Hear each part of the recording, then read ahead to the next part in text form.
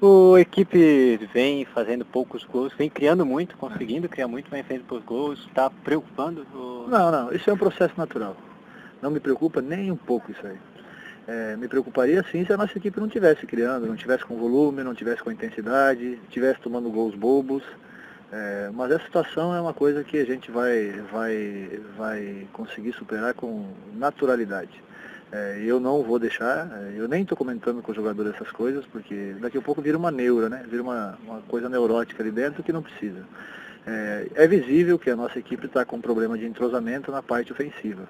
Por coincidência ou não, é essa parte ofensiva que nós não conseguimos trazer do operário. Paulo Sérgio, centroavante e goleador do campeonato, saiu, foi para o Paraná.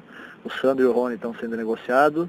É, o Maiquinho, que seria o outro atacante, ainda, ainda não está com a documentação regularizada, porque ele foi negociado com o Curitiba é, e vai ficar com a gente até o final do ano aqui. Então a gente está tendo dificuldade nisso aí.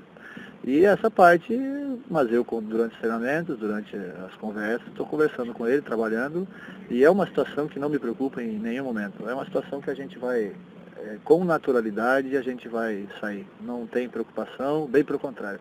A nossa equipe está num padrão tático, um padrão de intensidade, de velocidade, de, até de adaptação desses jogadores que aqui estavam, muito boa. Então é, é um processo natural que, para mim, é, encaro com naturalidade.